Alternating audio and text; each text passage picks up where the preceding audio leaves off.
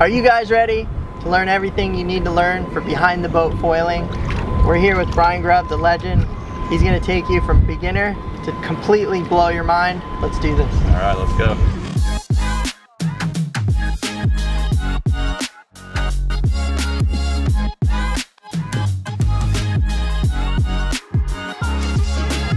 Hey, what's up? Brian here. We're out on the boat this morning and we're gonna go over a few of the basics to get started boat foiling. So obviously the first thing you're gonna need is a foil. Um, the board that I've been riding and that I really like behind the boat is the Lift 4.0 board I got here. Um, and then once you get into the, the mast and wing options, you, you got a few different uh, uh, things available depending on how big you are, depending on how big the wave's gonna be. Um, so I'll just kind of go over like what I've been riding on the boat and what I like, and then we'll kind of talk about um, some of the other options out there. So this setup right here is the 28 inch mast. Uh, and then I have the V2 150 uh, surf wing with the 20 carve. And this is a pretty advanced setup, you know, having the small tail on that, it's definitely loose and uh, not a lot of drag back there, but it also turns insane and, and gets a lot of speed really quick. Um, I would recommend this wing, you know, up to like probably 190 to 200 pounds or so, and then you know, once you get over the 200 pound mark, that 200 V2 is going to be a really good option. I think when you're first learning on the boat, having uh, the mid aspect uh, surf wings is the way to go. Um, the high aspect wings are really fun behind the boat too, but it's a completely different ride on, on the boat. Um, they're awesome to pump the flats, but they do turn a little bit slower and the transitions on the boat wakes are like pretty steep. So you can get a lot of speed really quick. And if you're not ready for it, the HA wings um, just take a little bit of getting used to. So I think if you're first getting started, I would do the V2 surf wings, and then depending on your weight, I would go with either the 150 or the 200. So with the mast, you know, the two options that I like behind the boat are the 28 inch mast and then the 32 inch mast. Uh, this is the 28 here. You know, I've been doing a lot of airs and stuff like that. I like kind of the shorter masts, quicker takeoffs, a little bit easier on the landings. But the 32 mast, I feel like it does give you a lot more power. You have to be conscious of riding the wing higher in the water um, so that it's powered up, but, but you can like load up a ton of speed, and I really like them with the high aspect wings. Um, you know, having that taller mast, you can keep the wing in the water, you can lay more aggressive turns out without the corners of the wings coming out that cause some instability sometimes. So um, it's really just kind of personal preference, um, but it kind of depends on what type of riding you're doing and what wings you're riding too. And you know, I, I only ride carbon wings. Um, you know, they're just the most responsive and they're super rigid and uh, yeah, they're just super reliable. So I would definitely recommend, you know, definitely getting the, the carbon setups. And then with the wings and the setups, like I think really just by changing the stabilizer on the same like 150 and the 200s, I think that's going to be like your best setup. So, you know, the glide tails like the 32 or the 38 glide is going to be, you know, the most stable. Um, you know, most people when they're first starting out on the boat, the hardest part for them is transitioning from like being on the board to getting the board up and riding. Um, a lot of people are just used to, you know, wake surfing where you're leaning back on the rope and letting the boat pull you up. Where on the foils, we want to have that weight forward and we want to keep that wing from jumping. So having the bigger stabilizer is going to just like lock in the tail and then we really just kind of focus on like keeping our weight forward and, and making sure our stance is kind of in front of the mast to like, keep the board down. Because once you get that transition from you know getting the start and getting the board nice and flat and riding then from there like is pretty easy. So but in my experience you know just that first part like when you first get powered up from the boat um, that's what we're going to be focusing on a lot today. So another thing a lot of people are talking about is how much volume of the board you should be riding when you're learning or just when you're riding behind the boat in general. So there's a lot of options out there. Um, a couple things to think about. Um, you know, the lower volume boards are easier to sink, easier to kind of get the board under the water, um, which is nice behind the boat when you're doing the starts. Um, anywhere from like 18 to probably like 30 liters is pretty easy to sink. Um, like this board right here is the 4.0 30 liter. You want to have like a little bit of nose on the board, especially when you're first learning. Like you see a lot of like really small boards, three six, three eight, small stuff. Um, and on the boat, you just don't have a lot of nose, so you really got to know what you're doing. But when you have a little bit of nose, like on a 4.0 or a 4.6, um, it really just helps get the get the nose of the board up, kind of splitting that water, and then you're easy to transition that board and get it nice and flat, so you're not getting like that jump as the boat is starting and you're starting to get on foil. Um, so for me, I think the 4.0 is a great size. Uh, the lift boards come with foot straps holes, so you can add some foot straps if you want a little bit more control when you're first learning. Um, some people just use like one in the front just to kind of control the nose a little bit, but um, yeah, it's all just kind of personal preference. But when you're looking for a board out there, don't go too high a volume. I think it's going to be harder to sink for you, and uh, I wouldn't go too short either on the length because that's going to make it a little bit harder to start. So I would start around 4.0 and uh, go from there. So if this is your first time ever wake foiling, um, there's a few things I would recommend getting and having uh, in your setup. So um, you first want to talk about, you want to have an impact vest, definitely want to have a flotation device on. Um, I would recommend wearing a helmet uh, in the beginning. You just, you know, when you're first starting, like, yeah, you just kind of know, don't know where the board's gonna go until you know how to control it. So uh, I would recommend wearing a helmet. I just want to talk about a couple things here about where to put your feet and how to like have a good stance on the board when you're first learning. So like I've been talking about before, a lot of people when they're first learning, the board's just jumping out of the water for them. And most of the time it's because they have their foot too far back on the tail, which is like putting weight on the back of the wing, which is gonna get that wing to jump up. We wanna get this wing nice and level. We wanna keep our weight forward. So if you look at where the mast is on my board here, you wanna make sure your back foot is in front of that and then your back foot is up here too. We wanna have a narrow stance too. We don't want a super wide stance. With the narrow stance, it's easy to like make small corrections in your body weight and you're gonna get a lot of input out of it. If you have your stance super wide, you got to move your body around a lot more to like get input into the board into the wing. So when we get out there, make sure your back foot is in front of the mast and your front foot is about shoulder width apart right up here on the nose of the board. Okay, so we got our board set up. We're out here in the water ready to go. Now we got to learn the start. So the best way to do it is to push the board under you and uh, get your feet on it and let it kind of float up into your chest. So I'm to kind of show you the easiest way to learn that. So I'm sitting on the board right now, but if I let it come up to the surface here, basically I just want to hold the board like right here, kind of where my front foot goes. And I want to push the board under the water and put my back foot on. So I'm a goofy footer, so I got my left foot on the tail here, and I'm holding the nose of the board down uh, with my hands. As the rope gets tight and we're getting ready to take off, I'm basically just holding the board, the nose is kind of going in the direction we want to go. And as we get there, I'm going to replace uh, my hands with my right foot, my front foot. So I don't know if you can see in the water here, but I'm basically gonna put my front foot on the board and now I'm gonna let go. And as I let go, I'm gonna let my knees bend as much as I can and let that board float up underneath me. And then from this position, this is the easiest way to learn how to get up on the foil. It definitely takes a little bit of practice. You can go out on the lake and just kind of practice sitting on your board and getting into the stance. But if you can learn this, it makes the start a lot easier down the road. Okay, so I got the board sunk under me. I got both hands on the handle. I got my foot up off the tail. And then we're gonna bring that speed up. I'm gonna slowly stand up.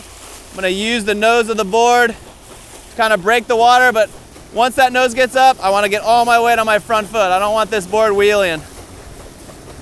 Now I got the, my weight pretty neutral. A little bit more weight on my front foot, but the board is nice and flat. So now all we need is more speed. So as the boat comes up to speed, you can see the board just takes off automatically without having to change any movement or, or any input into the board. So once you're here, just kind of make sure your feet feel comfortable. You don't need a super wide stance or anything. Um, but yeah, you're kind of standing on top of the mast with your back foot and your front foot's like shoulder width apart like we talked about. So, so now the first thing we're gonna do, we're gonna come into the wave. As soon as we get into the transition, you're gonna see the, the boat starts to like pick up the wing and move and I have all this slack which shows that, you know, I'm generating all my speed from the wing. And once you kind of can hold the wave like this, you just want to drop the rope. You don't need to throw it or anything.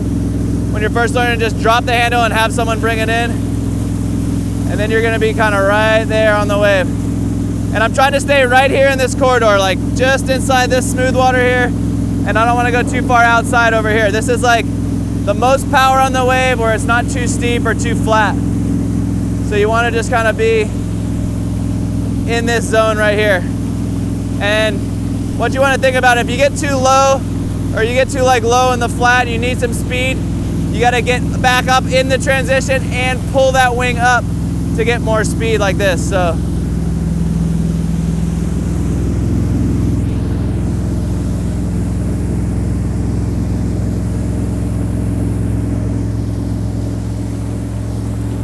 So you want to try to just keep it like mid-mast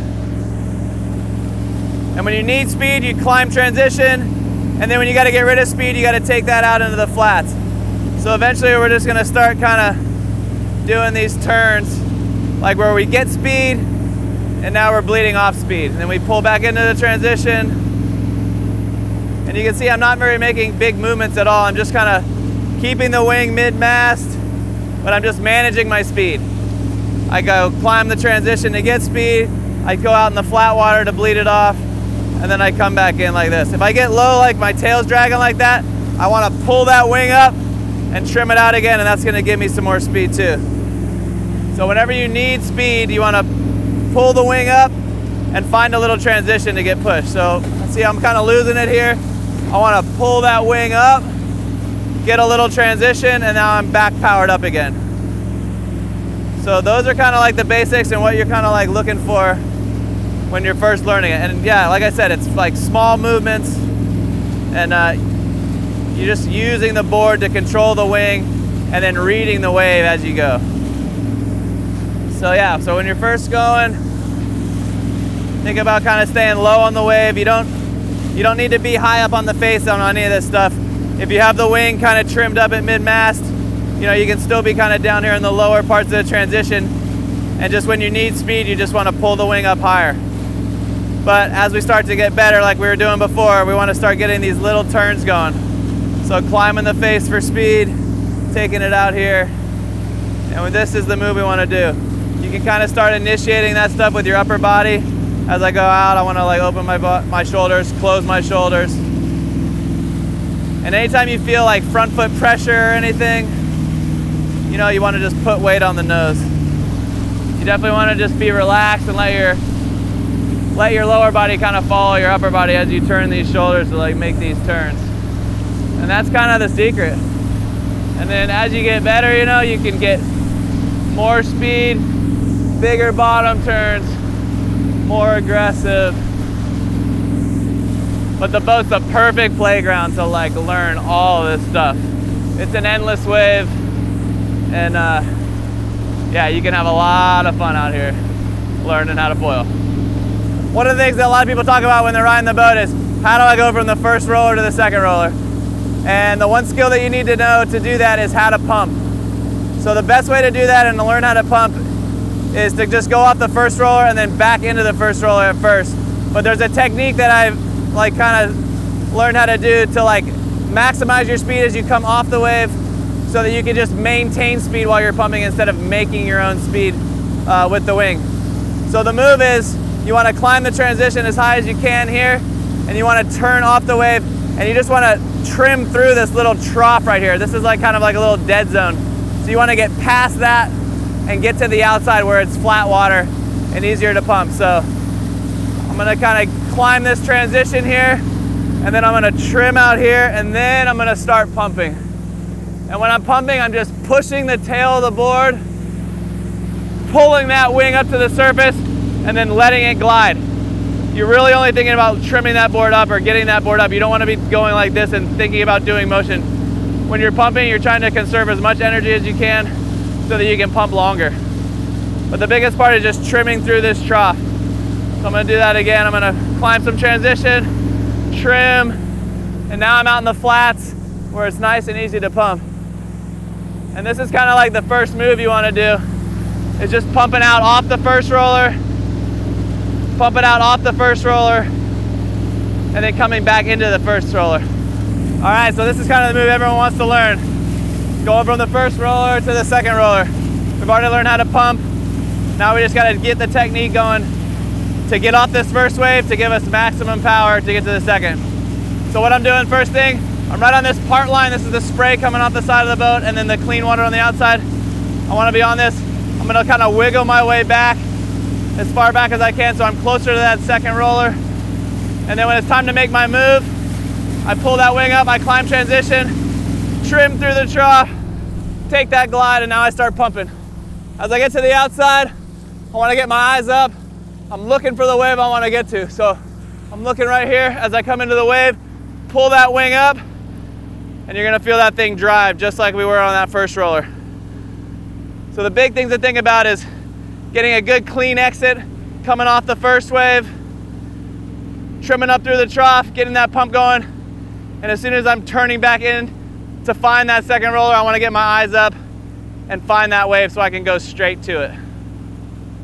So got Damo in the water back here. I'm gonna go over a few things on how to set your boat up and how to pull somebody uh, when you're foiling. It's a little different than your wake surfing. Um, so a couple of things here. We want to bump the speed up. Normally you wake surf around 11 miles an hour. We're going to foil like around 12, 12 and a half. What that's going to do is it's just going to make the wave longer so you have more room to do turns and kind of manage your speed when you're back there. Um, I have my ballast set at half, um, just like, you know, as opposed to wake surfing, like where you want that wave super big all the time. Like on the foil, you just want it nice and clean. Um, so like when we're first getting people out there and stuff, like half ballast, and then I keep the wedge in lift mode. So on the Malibus, lift is like the smallest, most mellow wake. Um, so that's how we're gonna set it up for Damo to, to get started out there. And then we're gonna probably change a few things as we go. Here we go. Ready?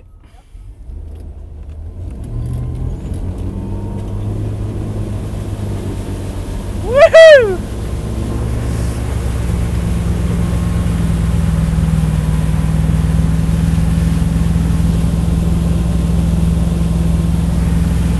All right, so speed control's on. We're going 12.2. Damo's on the way back there. And like a couple things you kind of think about is like how you're setting that roller out because you know on the foil you can go back to the back rollers and so you want to think about this wave as being like one big long wave, not just like the first one. So if I'm putting like a little bit of a right turn on that, it's gonna kind of all kind of wedge the waves together, which makes the waves bigger as you go back to the second and third and fourth roller as you go back. So I like to go in just a little bit of an arc for whatever side that the surfer's on. You can kind of see how long the wave is, it's not too steep. But you can see here, if I like turn, he's on the right side of the boat. If I turn to the left, it kind of makes the wave a little steeper and a little shorter. And then when I turn into him, the wave gets flatter and more mellow and a little longer. So keep that in mind as you're as you're pulling people. You want to be doing like more turns and go wider, like you know, having the having the wave be a little bit more mellow by turning into your rider is definitely going to help you. I don't know what else to say. We appreciate you guys. We love you guys. If you didn't learn anything here, I don't know what, but literally just being a part of this and seeing this, I've learned a ton. So, Brian, you're amazing. You're incredibly talented. You're a great human. What would you say to anybody out there that is uh, on the fence to try to foil whatever type of foiling? What would you say? Yeah, I would just say don't give up. You know, it can feel frustrating at times if you're trying to, you know, try that next thing or pump out and stuff. But yeah, you put that time in, and foiling's the most rewarding feeling in the world, and you can learn it all behind the boat. So get out there with your friends and uh, start flying. That's it from the legend himself, Brian Grubb. Thank you so much. Yeah, man. You.